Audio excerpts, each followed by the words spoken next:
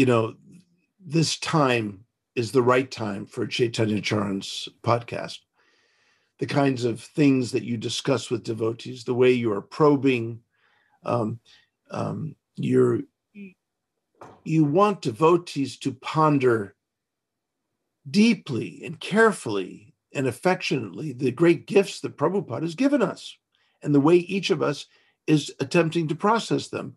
And I think this is really, uh, you know, a wonderful seva. I, I really do. And um, it's it's not going to be for everybody. Not everyone is able and willing to ponder these things deeply. But for those who are, what a gift you're you're offering here, uh, Chaitanya Charanji.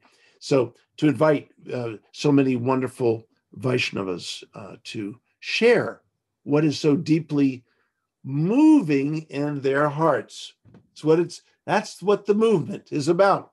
The movement of the heart toward other hearts.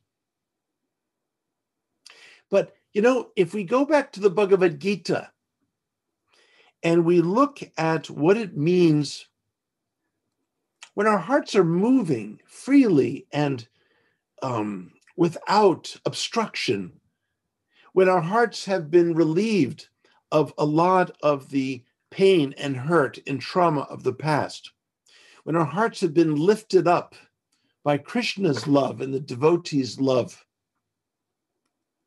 mm. then then this is wonderful.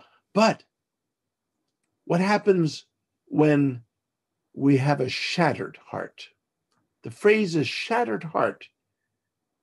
In the Bhagavad Gita, Arjuna experienced a shattered heart. What was it that was painful for Arjuna? What I call the Arjuna syndrome is something that invariably all of us will have in this life. Arjuna was, um, uh, he asked Krishna to move the chariot in between both the armies. Mm. And Arjuna did not realize what he would experience. But he realized that on the opposing side of the battlefield, on the side of the Kauravas, were relatives, friends, and even his guru. People for whom he had reverence, people for whom he had a great deal of affection and love, but people who had another side that was representing and promoting evil. This is what shattered Arjuna's heart. This is what caused him grief, shoka, shoka. You know, Chaitanya Charan, we experience persons that persons have many sides to them. Uh, you know, sometimes we discover the side of a person that has done bad things, even criminal things, even evil things.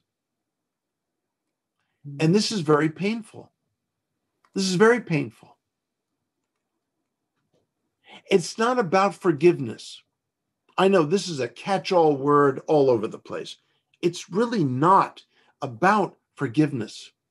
It's about being real about what's in front of you. Now, Arjuna could have said to Krishna, Oh, oh, wait a minute. All my friends and relatives are over there. Drive me over to the other side. I want to fight with them. I, I want to join the evil side because, frankly, those are my friends. So, you know what? I'll join them. No. Then, then he's not being true to his heart. Then he's being repressive. Or he could have said, I hate all those people fighting for Dhritarashtra. I hate them. I don't even care who they are. I hate them all. And I'm going to kill them.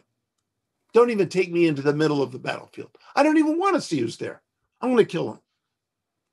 That's the other extreme. Arjuna had the heart of a bhakta. He wanted to be real.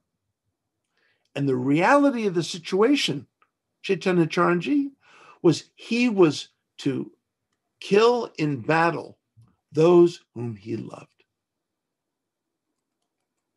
And the first, the second half of the first chapter, 18 and a half verses were spoken by Arjuna to Krishna, dumping the contents of his shattered heart